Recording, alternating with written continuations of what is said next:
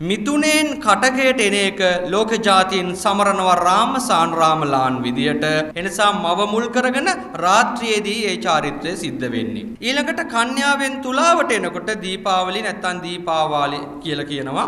ඒකෙත් දීපාවලි දාට දීපාවලි සඳහරන් තමයි එන්න කියන්නේ. මේ ජාතීන් සූර්යා මිතුනේන් කටකයට හෝ කන්‍යාවෙන් තුලාවට හෝ මහදවල් 12ට ආවත් මේ ජාතීන් ඒ උත්සවයේ සමරන්නේ සඳ මුල් කරගෙන රැට. මේ දනුවෙන් මකරට යනකොට තයි පොංගල් සමරනවා. මීනෙන් මේෂයට එනකොට අපි මේ සූර්යාව අමතක කරනවා. මේ අනිත් ජාතීන් සියල්ල තමන්ගේ සංස්කෘතික අනන්‍යතාවය රැකගන්නවා. හැබැයි අපේ සංස්කෘතික අනන්‍යතාවය හීන වෙලා හැංගිලා විනාශ කරලා වංචනිකයෝ මේක යටපත් කරන්න උත්සාහ කරනවා. අදීයනේ මේ සූර්ය මංගලේ සූර්ය උදාවත් එක්ක එහෙමනේ මේක කෙරෙන්න ඕන. මේක මහරා කරන එකේ මොන සූර්ය මංගලයක්ද? මේ වෙලාවේ කරොත් අර එකමුතුව නැහැ අපේ ළමයි ටික නිදාගනි. එකමුතු වෙන්න පුළුවන් වෙලාවක්.